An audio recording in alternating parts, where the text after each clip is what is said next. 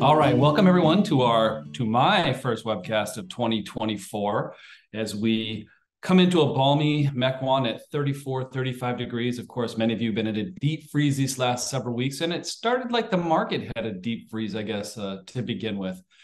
Things have since been recovering. We've seen a couple of categories take off. But today, I'd like to begin in gratitude. And I'd say for the last few weeks, uh, I've been observing a lot of people and the challenges that they have. So I'd say without challenge, there's not a lot of things to overcome. So I'm going to say I am going big today, and I'm grateful for challenges. Um, let's go to my teammates. How about Ken? How about yourself? Yeah, thank you, Chris. Appreciate it. Good to be here on the Zoom call with you all as usual. Uh, I'm grateful for my seven-year-old son. He had a big win in uh, something called Slammers the other day. Uh, his second and third grade together, and he's probably one of the smallest second graders out there. So he doesn't get the ball a lot, as you can imagine. Uh, and so all of a sudden he got the ball after like weeks and weeks and weeks. He got the ball. Someone passed it to him. He finally made a bucket, and to see the pure joy in his his his body language when he made it, his hands went up. It was a big win, big confidence for for my young guy there. So I'm very grateful to be seeing that opportunity and watching him uh, develop some confidence in what he's doing on the on the basketball court. So it was fun. Awesome, thank you, Ken. How about uh, let's go to Zach. yeah, thank you, Chris.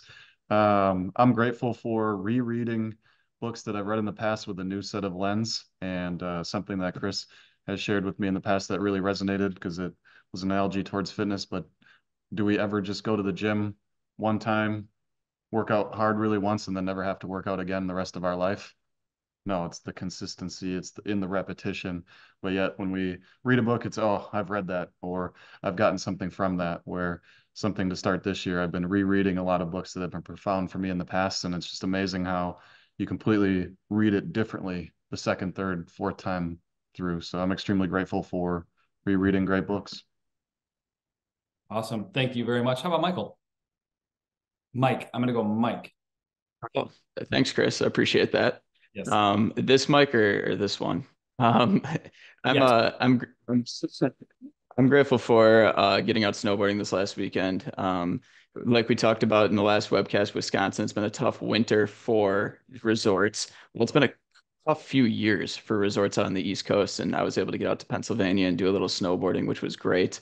Um, they were basically not even able to open until within the last couple weeks, and to get a little bit of snow is such a good thing for those local businesses, and I'm I'm happy for that.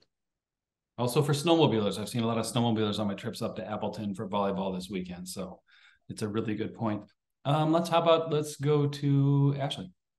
Thank you, Chris. I am grateful for being mindful. It's a new focus for me and just taking one day at a time, not trying to complete hundreds of things on a day, as most moms or parents or most people do to themselves, but accomplish a few good things, meaningful things each and every day. So that's something I'm working towards. Thank awesome. you, Chris. Awesome. You bet. And how about Lauren? Lauren, how about yourself? Thanks, Chris. Um, yes, I am grateful. I, want to start with saying I'm grateful for the team. I just am still so surprised by how much I'm learning from everyone every single day.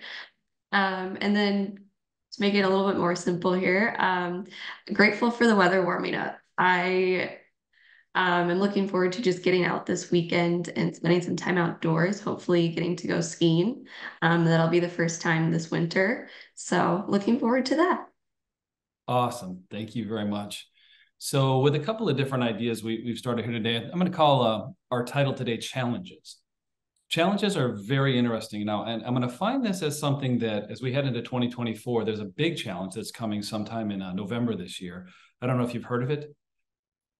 It's called the presidential election. I mean, every four years it goes along with the leap year. And you know why they do it in leap year? So that they get one more day to campaign. No, really, that's that's why they do it.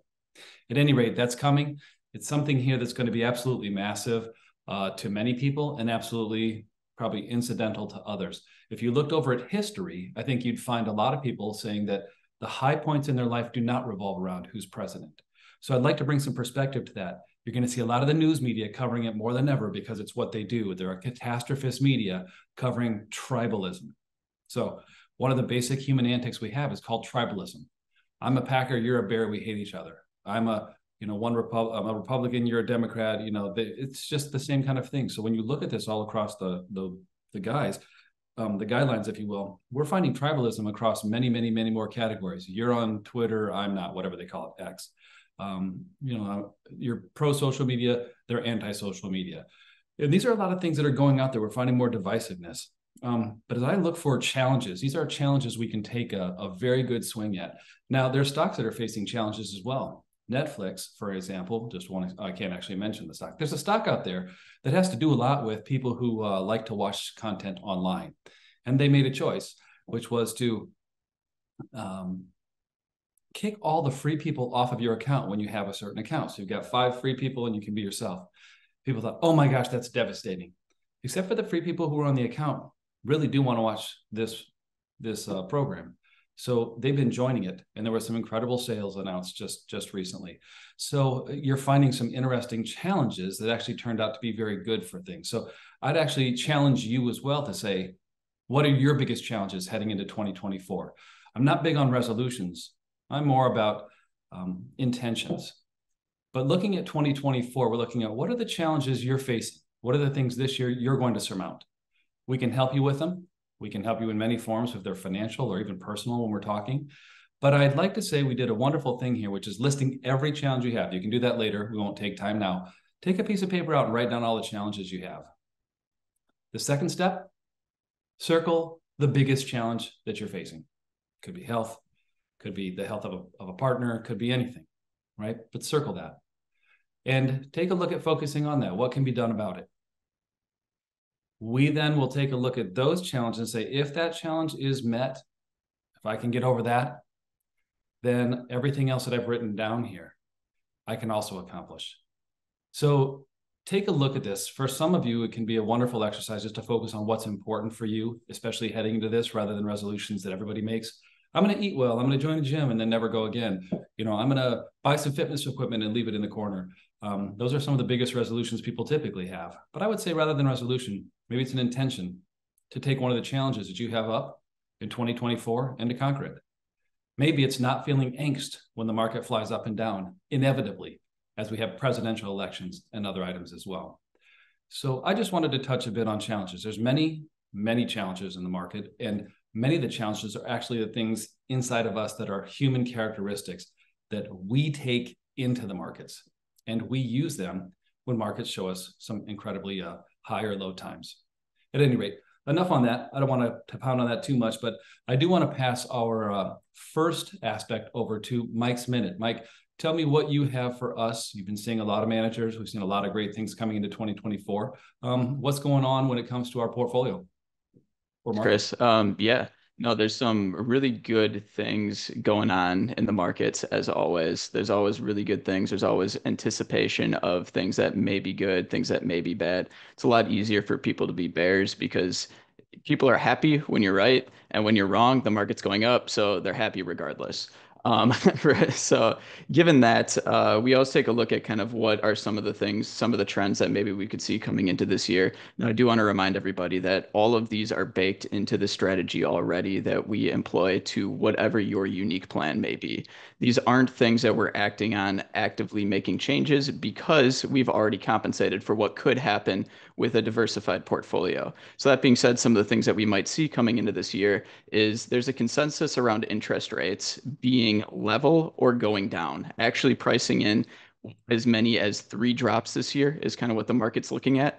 Um, that's what the Fed has come out to say. We'll get more clarity on that in their meeting coming up in the 31st, but really it's the anticipation that it's going to be another pause we'll see how that actually ends up panning out once that occurs. So what does that actually mean for for bonds and different investments? Well, it gives bonds the chance to be steady, uh, have yield that or return similar to their yield, or actually get some capital appreciation if they come down. For equity markets, maybe less volatility. We'll see. There will always be volatility in equities um, based on cap size, based on different things. So expect that regardless.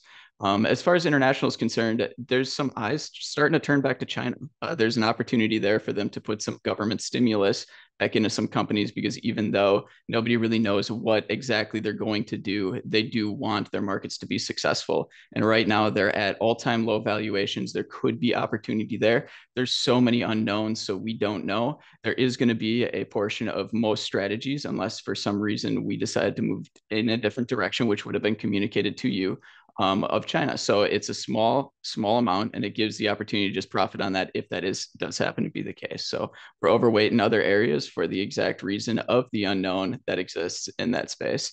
The other space that others are looking at is internationally developed markets such as Europe. Europe is a mess. Uh, interestingly enough, sometimes investing into a mess is the best time to do so. So having exposure there is also going to be important as things work themselves out. Countries over there have done a nice job with their balance sheet. That really gives them the opportunity to put stimulus in if they do fall into a recession. It does seem to be imminent that a, a recession in some of the countries in Europe may happen before that does in the United States, which means lowering rates quicker, potentially stimulating equity markets, something that we want to participate in. Thanks, Chris. You bet. Thank you, Mike. So, um, Mike, I don't know if you guys knew that Mike um, used to bite his nails, and he actually made a New Year's resolution that he would no longer bite his nails for the month of January, but his feet have never looked better. nice one, Mike. You're super flexible. I appreciate it. Hey, uh, coming into this as well, it's it's a great point, Mike. There's a ton of stuff going on both in Europe and others. I think you're right. There's uh, emerging markets, especially, are historically do well when they revert to the mean. There's a lot of mean reversion that needs to happen in several categories: small caps, mid cap, actually as well, and also emerging markets. So those are longer term trends that actually are often best utilized when we're doing our rebalancing. We're buying more of a category that's been undervalued and typically historically will have a point in the future where it does well although we can't predict when. So thank you mike. I appreciate that. I appreciate your minute all the time. Uh, how about zach? How about your facts? What's going on brother? What do we need to know about the about the markets from your aspect? Yeah thank you chris. We'll go through kind of year to date but then as we talked about last time and, and previously to that we don't really view things on a end of the year basis and then a complete reset and if we only talked about the year to date it would kind of diminish how massive the last three months have actually been. So I'll share the year to date and also kind of the last three months with a little perspective. Um, the Dow Jones, uh, about half of a percent up on the year. Uh, last three months, about 15% positive. The S&P 500 is kind of where the biggest news has been lately, about 2% positive on the year, and recently crested an all-time high that it previously set January of 2022. And uh, as of this morning, it was 4,864. That all-time high back in January of 2022 was 4,793. In the last three months, about a 16% positive return. And the NASDAQ, which is 50% weighted towards technology, is right around 3% positive on the year in the last three months, had the biggest return of all the various indexes that we look at of 20.32%. The Russell 2000 is a collection of small-sized companies, temporarily down about 2.5% on the year. In the last three months, right around 20% gain as well. On the international side, uh, temporarily down about 1.5%, emerging markets around 4 and those haven't had as big of a rebound in quarter four, but we're right around 5 to 10%. On the fixed income side of things is still a conversation on what to do with our outside cash. The one-year treasury is around 4.84. The five-year treasury is 4.8 and the 10 year is 4.15. So we're still seeing opportunity if there's cash on the sidelines or if we know we have a purchase sometime this year or early next year. There's money market still at 5.4%, still offerings through Raymond James right around 5%. One thing I wanted to share before handing it back to Chris and Ken is just lately we've been, as always, looking out for clients on different things that we're hearing from other advisors or potentially products that are out there. We've seen a big influx in conversations about indexed buffer annuities and just products in general in the sense of, okay, now that we've hit an all-time high, do you want to feel what we just felt again, or do you want to lock it in and get to a certain point and have no all this downside protection? Where we're always very careful about that because volatility is actually essential for the long-term plan. Mike talked about that as well, but volatility tends to equal return. So we should never be scared of volatility because if there's volatility downwards, there will be volatility upwards during that time as well. And one other thing is just as of recently, uh, you might have seen or heard Uh, there's some cryptocurrency ETFs that got accepted by the SEC. So it's becoming a, a topic that no one talked about for about three years because they were struggling pretty hard. Now we're talking about them again. Just beware about chasing those. And anytime there's investment, and, and Chris has shared this with us as well, where there's fear of missing out, whether it's artificial intelligence or crypto, it's never a great plan for an investment to get into it just by the fear of missing out. So we're always very cautious with those, but keep an eye on, we're keeping an eye on the different developments there as well. With that, Chris, I'll, I'll pass it back to you. Thank you, Zach. I appreciate that. Zach did share something with me as well. He says that around the beginning of the year with all the resolutions, the gym is a very, very busy place. So he said it's probably best to wait for your resolution and don't join a gym until January 2nd when it dies down. So anyway, uh, it was pretty good. I think I saw that coming. Um, you probably also saw that coming as well. But I like the New Year's resolution jokes as we go on now. Uh, why don't we head it over to, I'm going to call it Ashley's Advocate. So she's an advocate for us. I'm still coming up with a name. I may name it 10 different things, but I'm going to call it Ashley's Advocacy. Ashley, what's going on with us? What do we need to know about? Thank you, Chris. Today I'm going to focus not only on a money saving idea, but also a time saving idea for you. So, of course, it's tax time, and we are all getting our documents ready to either take to our CPA or we're entering them into TurboTax. But you might want to check out it's deductible online.intuit.com.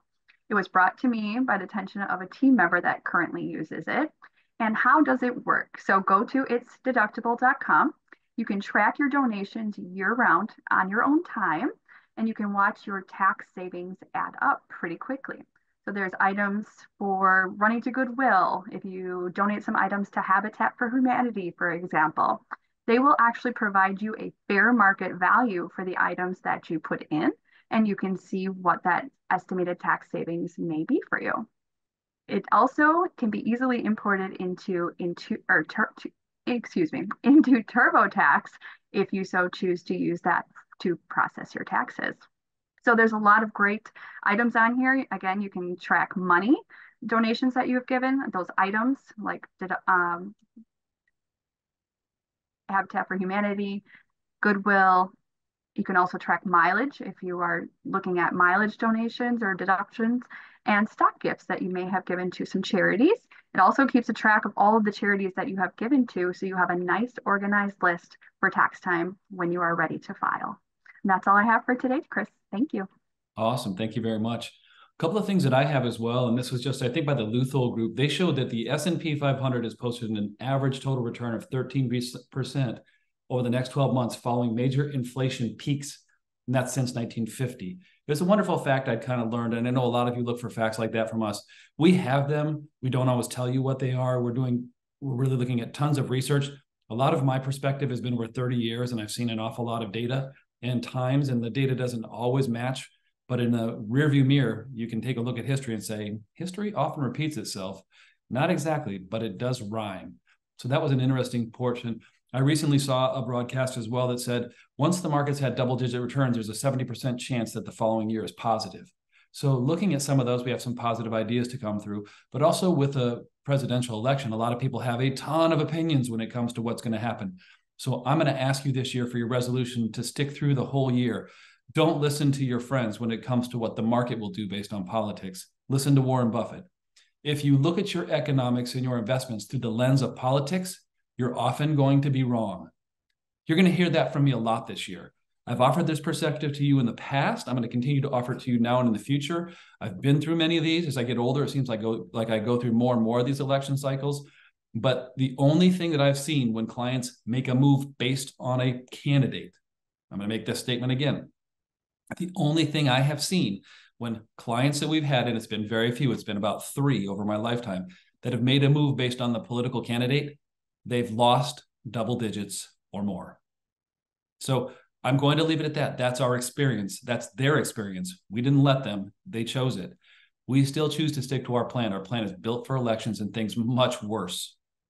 So I just wanted to make sure that you knew that as well. Uh, like one more thing as well, and I think in, we've been talking a lot about health. If you were on our nutrition um, just recently, our health and wellness uh, program, it's wonderful. Michelle gave us some incredible information about it, and I think when I was looking at it, um, my goal was to just eat 1200 calories a day. My goal was to eat 1200 calories a day. And I got to tell you, since the beginning of the year so far, I have exceeded it every single day.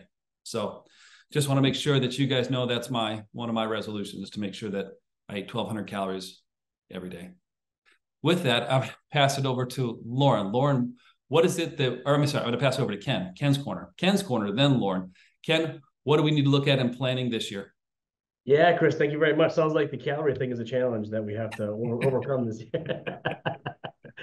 Absolutely. So another challenge that we're hearing right now is is is the idea of putting money into the your accounts versus taking money out of the accounts, right? Those are two different strategies. For the for the distribution, the taking money out of your accounts, that that can be a very um a personalized strategy that we put in place for you. So talk, like uh, talk to us about that. We've already talked to you about that. If you're a retiree, we figured that out for you. Uh, but taking money out is a different strategy than putting money in. But what we're hearing right now is a challenge because like what Chris said, Mike said, the, the markets are are doing well right now. They're at all-time highs in some cases that we're that we're seeing right now. And what happens to investors is this people get reluctant to invest money that they have, say a chunk of cash that they have from a bonus or money they've saved or something like that. And, and they want to wait. They want to wait to the, the perfect time on that. Well, the perfect time on that is right now. So it, it's really important to keep in mind as far as like what the money is used for and the time of this money. If this is retirement money, the money should go in now and buy those great companies that we're talking about. If if if the time horizon is shorter than that, then putting it into the market probably isn't a great idea. So a lot of people get wrapped up on this idea of the markets are all time high. And I don't want to invest money because all it's going to do is go down. We have to be really careful of that because if you like the markets today, you are really going to like the markets 10 years, 15, 20 years from now. Keep that in mind as a long-term investor on buying great companies.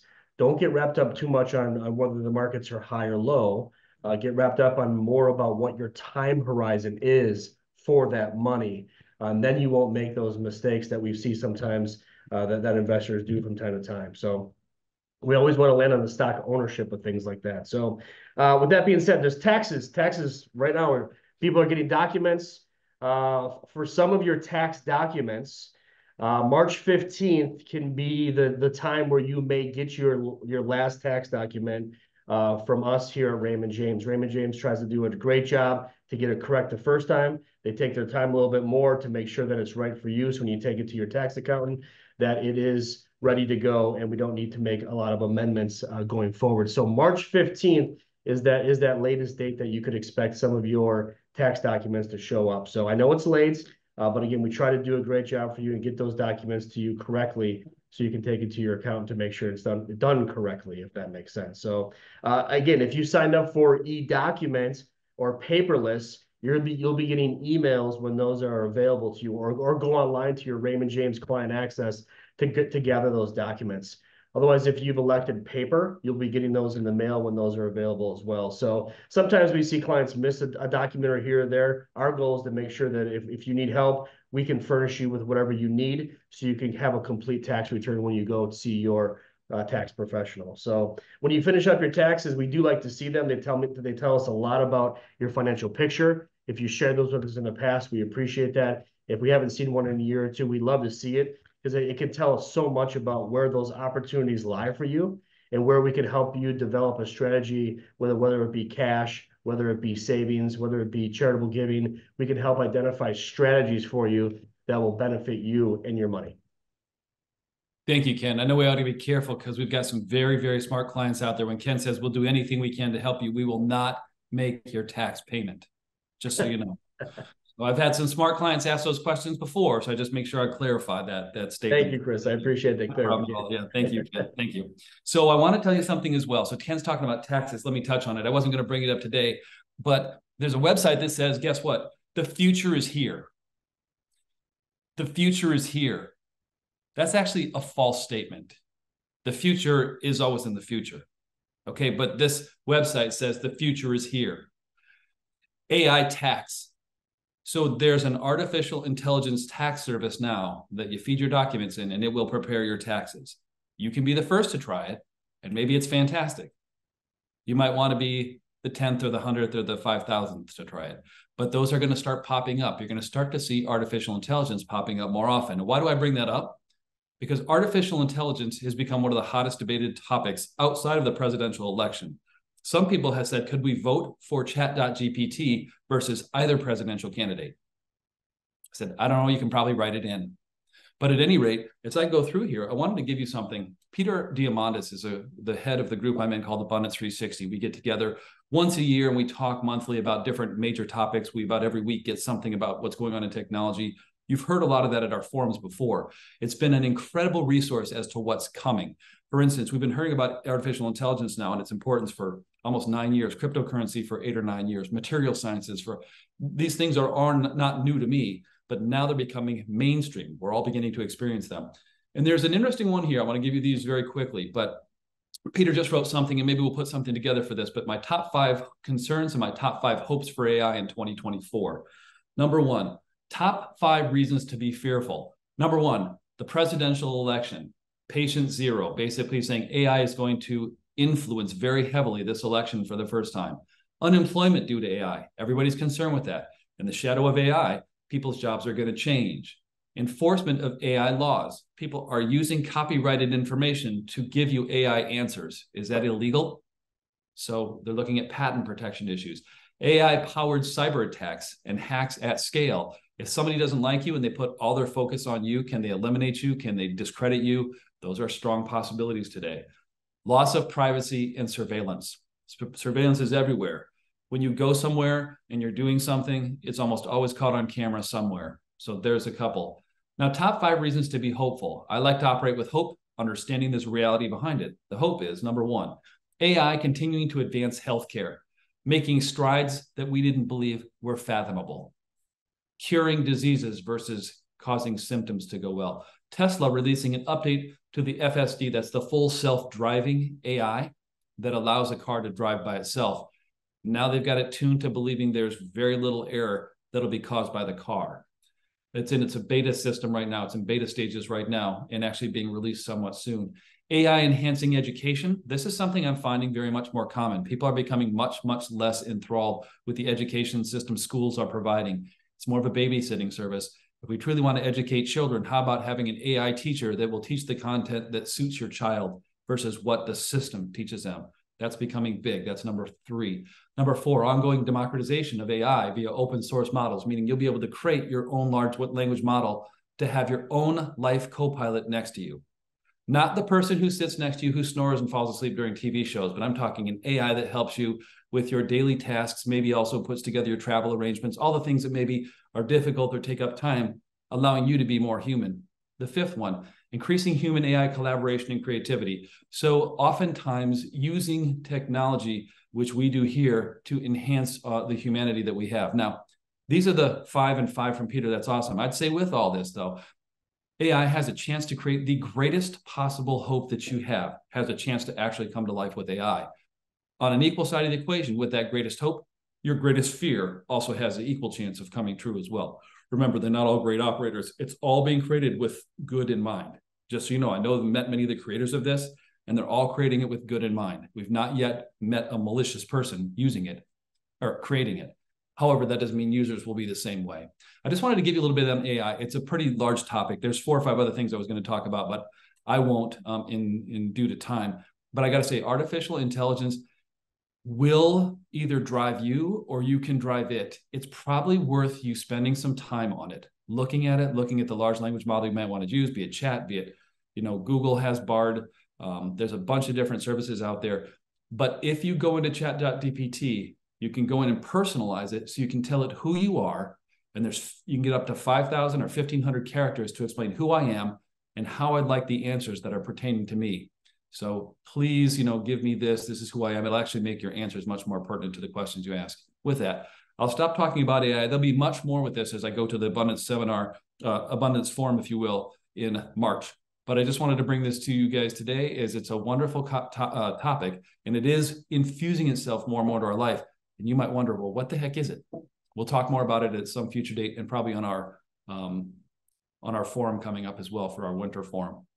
With that, I want to bring it to Lauren to close us out and uh, tell us what should we be paying attention to. Sounds good. Thank you, Chris. Um, so happenings coming up here. So starting with today, uh, we have our January birthday club at noon. We are looking forward to seeing everyone there. And then next month's birthday club, um, that's going to be on Valentine's Day. So Wednesday, February 14th at noon. Don't forget to email us that picture of younger you for a fun game. Uh, and then next week, Wednesday, January 31st, we have our Ladies and Gentian Zoom. Um, it's a travel workshop, and a guest speaker will be joining us to talk all things travel, like safety tips, where to look for deals, group travel versus solo travel, and where to go. Um, so don't forget to register to that event. Uh, that same day is our very own Julie Decent's birthday. So I wanted to give a birthday shout out to Julie. Um, so then going into February, Monday, February 5th, we start our book club for the book How to Know a Person by David Brooks. Um, and then on Wednesday, February 7th, we're hosting our winter forum. Um, this will be via Zoom. And there we're going to discuss market updates, uh, any Gentian updates, and what you should know for 2024 tax and estate planning. Um, that you have to RSVP for, so don't forget to do that as well. If you've missed any of our events, um, you can find those recordings on our YouTube channel. So all you have to do is go to youtube.com and search Gentian Financial in that search bar. And that's all I have for now. Thanks, awesome. Chris. Thank you. Thank you very much as well, Lauren. We appreciate you and thank you for keeping us up to what we should uh, pay attention to. So two things I'm going to mention, the travel club with the, the ladies. It's I think it's going to be organized through our, our ladies organization here, but the travel club is really designed for those who do travel, have travel. So it's as much contribution as you're also going to get in content as well. We'd like people who are avid travelers. We have a great one down in uh, Arizona. She's going to join, maybe to share some of her tips because if you look at a vacation, she's willing to do it. I'll leave it at that. Um, number two, the book club. it's a wonderful book, and I want to make sure that you guys understand this one's a little headier than normal. I won't do always the Brooks brothers, I call it, because there's an Arthur Brooks, there's David Brooks. We've gone back and forth. You know, we have um, something maybe called Same as Ever, which is by uh, Morgan Housel. We'll do some other books as well, but these actually end up being something in a line we've been looking at about becoming better humans. So I talked about AI. I've been a big advocate of us being better humans. If technology is going to take more of the aspects of our life over. So looking at a book like this as well, it's it's called How to Get to How to Know a Person, the art of seeing others deeply and being deeply seen. There's a lot of research, a lot of references to other books. You don't need to read them all. You don't need to understand every bit of it. But as I get to chapters, you know, 13, 14, 15, 16, and 17 about truly seeing a person, it's opening up a lot of things to me. I think if you're interested in really getting to know other people, more importantly, getting to know yourself better, um, especially as we're all at different stages of life, it is very cool to hear a 30 year old and an 85 year old on the same um, book club webcast talking about different perspectives. We learn so much from it. So when that's coming up, feel free if you haven't read the book fully, if you're just getting it, just getting into it, do. It's a forum that I get to learn. We get to talk about things on a personal level, not on a market level. And I really enjoy getting to know you deeper in that as well. So I just wanted to put a little shout out for that. It's a wonderful item. Those who've been on it many times, it's a growing list of people, but it's a wonderful club for us to talk about things. And don't worry if you're not reading it ahead. Oh my gosh, I haven't read the whole thing. Sometimes it's just listening to it as a summary of it. So, with that, I will say from our galactic headquarters here in Mequon, Wisconsin, I want to tell you from Gentian Financial, from my team, I appreciate them. We all appreciate you tremendously. We want to make sure that we went a few minutes over here we want to acknowledge your time is very important to us. But with that, you have a great rest of your January. And join me in my challenge to eat 1,200 calories a day. It's really not that hard. At any rate, love to all of you. Thank you and have a great rest of your January. We'll see you in two weeks.